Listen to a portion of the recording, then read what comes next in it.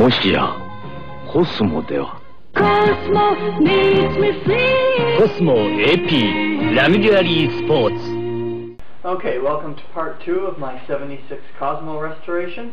The last time we gave the car a good cleanup and now it's time to pull the engine. There's nothing wrong with this one. I'm just going to uh, build something a little better for it.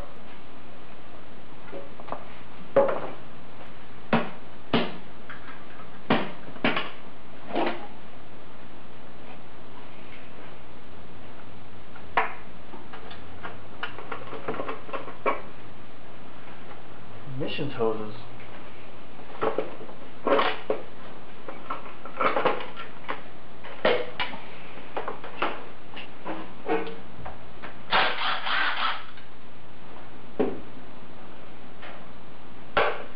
Someone had the timing way advanced. And we're stuck.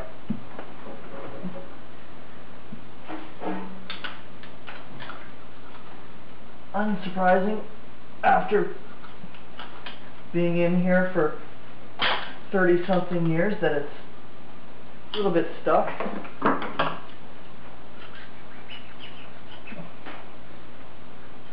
She wants to come out.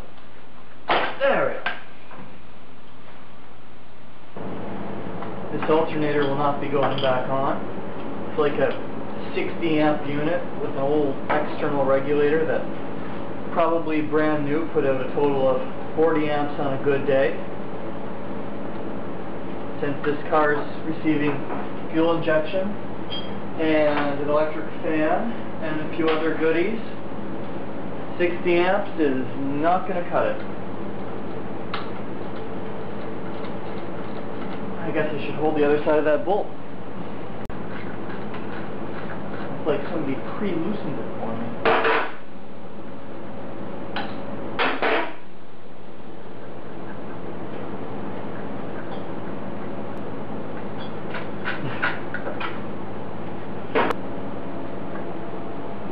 There we go. Oh, and it's gone. Well, with all the emissions and other hoses disconnected, the carburetor should pop right off and then go directly into the garbage where it belongs. Actually, I'll probably sell it on eBay because they're quite valuable. Oh, there we go. Look at that. I even got all the hoses first try. Get rid of some of these emissions hoses. Oops, someone's been playing. This is not the proper way to block a hose.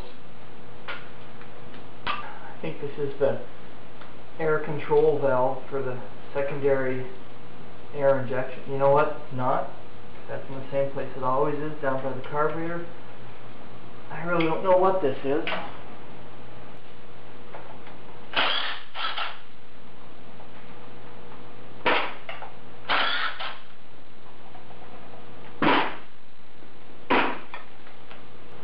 Someone's going to ask me why I didn't drain the coolant and pull this upper rad hose before I take off the air pump.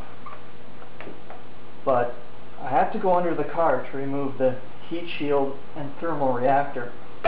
So I didn't want to get coolant all over the floor. Air pump's not going back on. I think the space will be occupied by something a little more fun. Short bolt. Really short.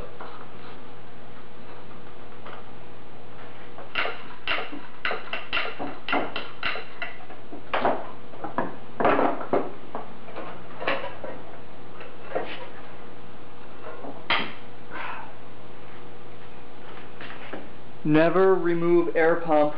We've just done something horribly wrong. So I wrestled around with some of the bolts holding the exhaust manifold slash thermal reactor on underneath the car and it just looked like a big pain in the ass to remove. So, whoops. So I'm leaving the exhaust manifold on and uh, pulling her off once uh, once I get the engine out of the engine bay. For now, I'm just disconnecting the exhaust at the manifold. Had to cut one of the thermal reactor lines, which kind of sucks because I would have liked to preserve such a oddball system, but such is life.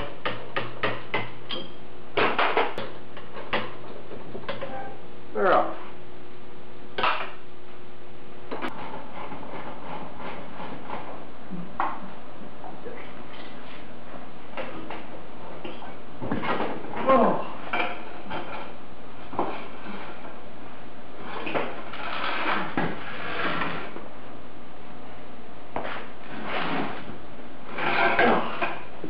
A thermal reactor. I wonder how much of a mess removing these power steering lines will cause. I can't imagine that after all these years there's still fluid in it. And it does not look like I can remove the power steering pump without first removing the pulley. Oh, oh, apparently there's a lot of crap in there still. Yuck. Seems to be really nice about this car is most things are coming off really easily. It's pretty clear this thing's never seen winter.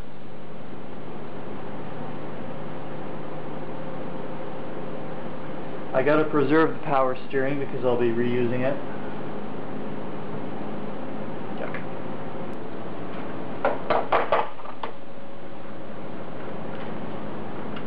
Oh, look at that. For once, the strap wrench actually worked. There we go.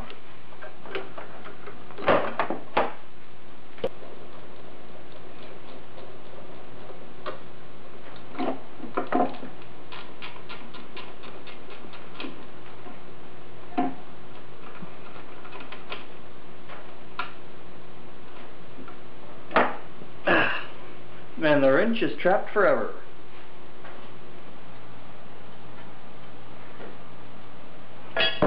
Power steering bracket. Well, I think before I go any further, I'll drain the fluids. Mmm.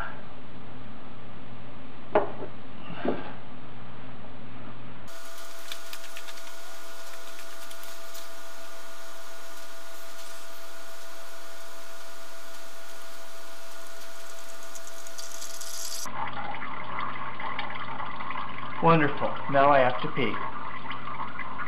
Let's drain the fluid the old-fashioned way.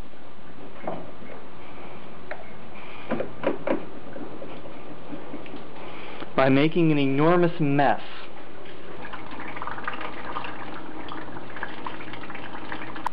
I guess the nice thing about electric fans uh, is that they're a hell of a lot easier to work with than this clutch fan. The only way to get these bolts out, it seems, is with a strap wrench. And half the time strap wrenches just sit there and slip. Now the fan just comes out of the front of the water pump eventually, and then left in the shroud.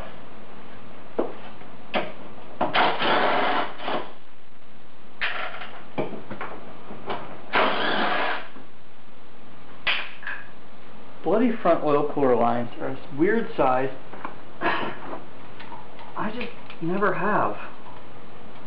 So, nine times out of ten, I end up just using vice grips.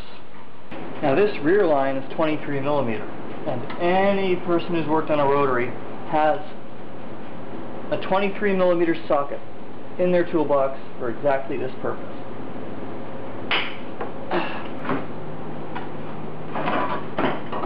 There we go.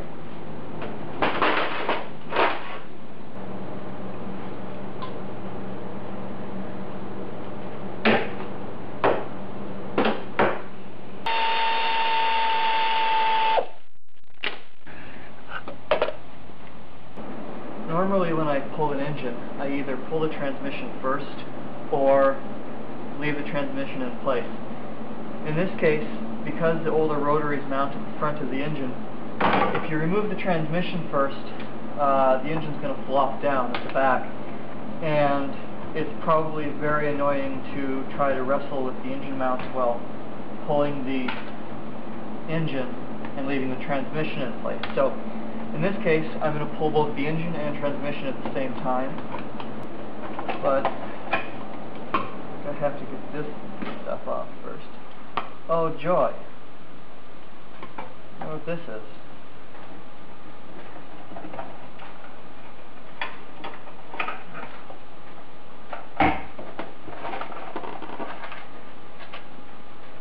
Having never done this before, you'd almost think I know what I'm doing.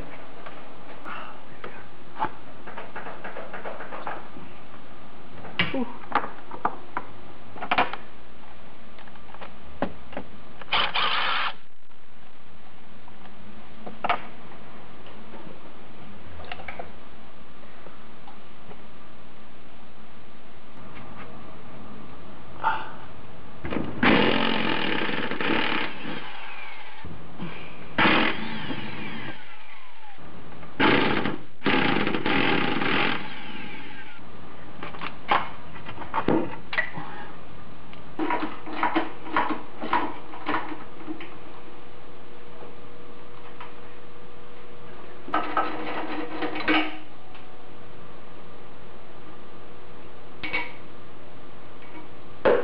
Well, it's finally time to get a lifting chain on here and lift this sucker out of the car.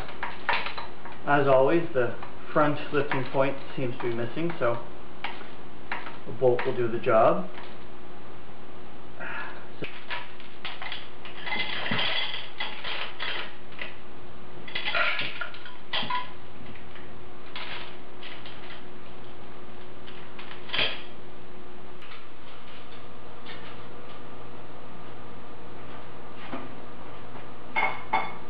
This can go either really bad or a little bad. I think my chain's way too long.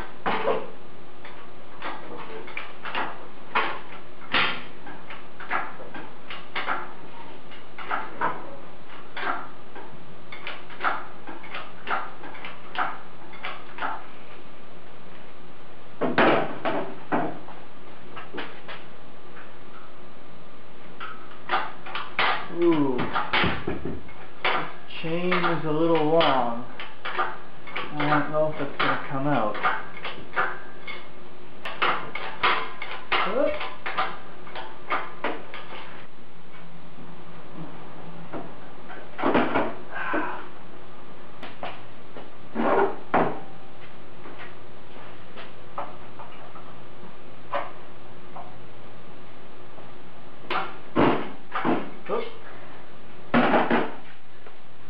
She's coming.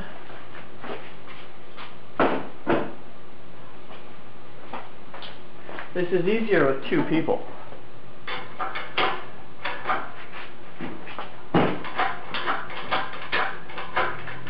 And I'm glad I ran out of quick dry because I have just left a lake of transmission oil on the floor.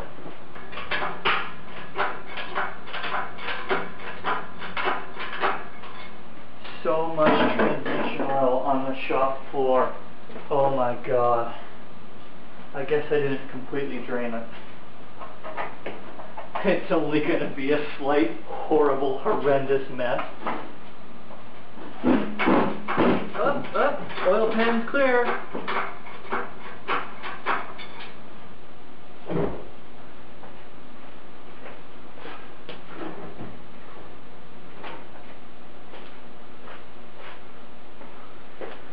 Hope this thing goes higher.